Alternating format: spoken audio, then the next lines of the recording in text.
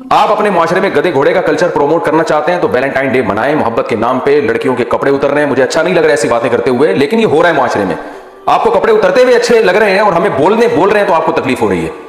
तो बताओ ये हो रहा है कि नहीं हो रहा माशरे में? इस गधे घोड़ों वाला कल्चर और कुत्ते बिलियों वाला कल्चर आप माशरे में लेकर आ रहे हैं तो खुदा का वास्ता आप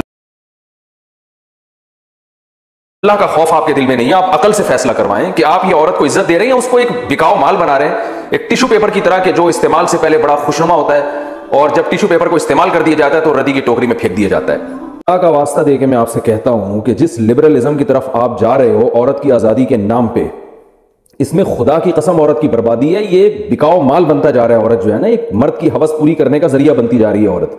औरत खुद अपने आप को तबाह कर रही है, खुद अपने आप को बर्बाद कर रही है। अगर आपको इस्लाम समझ में नहीं आता, अकल से फैसला करवाओ ना, अकल क्या कहती है? कि मर्द जब औरत की तरफ़ जाए तो दोस्ती के नाम पे कुछ भी करता रहे उसके साथ। गर्लफ्रेंड के नाम पे लिव इन रिलेशन की इस्तेला आपने सुनी होगी, जो आपके बाप दादा ने कभी नहीं सुनी होगी। हिंदुओं में भी कभी बाप दादा ने नहीं सुनी होगी, गोरों ने के बाप दादा ने कभी नहीं सुनी होगी। अब लिव इन रिलेशन के नाम से एक नई बेहयाई माशरे में आ रही है कि आप किसी से भी एक कांटेक्ट करके कॉन्टैक्ट करके, एक एग्रीमेंट करके मायदा करके उसके साथ रहना शुरू कर दें। ये गधे घोड़ों वाला कल्चर है।